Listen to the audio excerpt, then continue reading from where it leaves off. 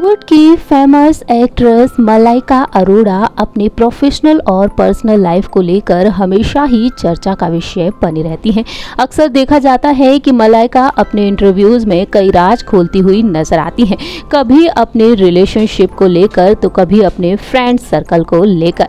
मलाइका अरोड़ा बीते लंबे समय से डेट कर रही हैं बॉलीवुड एक्टर अर्जुन कपूर को। तो वहीं मलाइका का फ्रेंड सर्कल भी काफ़ी पॉपुलर है। जी हाँ कपूर खानदान की दोनों बेटियाँ, मलाइका अरोड़ा की क्लोज फ्रेंड्स हैं। हम बात कर रहे हैं कपूर सिस्टर्स के बारे में।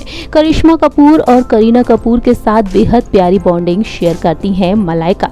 तो वहीं अपने इंटरव्यूज़ में भी कपूर सिस्टर्स के बारे में चर्चा करती हुई देखी जाती हैं। मलाइका ने अपने एक इंटरव्यू में चर्चा की।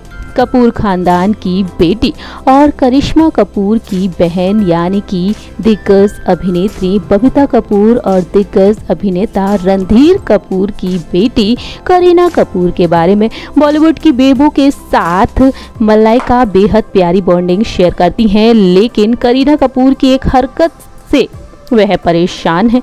वह नहीं चाहती कि करीना कपूर को ये नहीं करना चाहिए। दरअसल, करीना कपूर को लेकर मलाइका से एक सवाल पूछा गया था।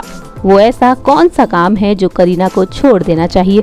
जवाब में मलाइका कहती हैं, करीना कपूर को गॉसिपिंग छोड़ देनी चाहिए।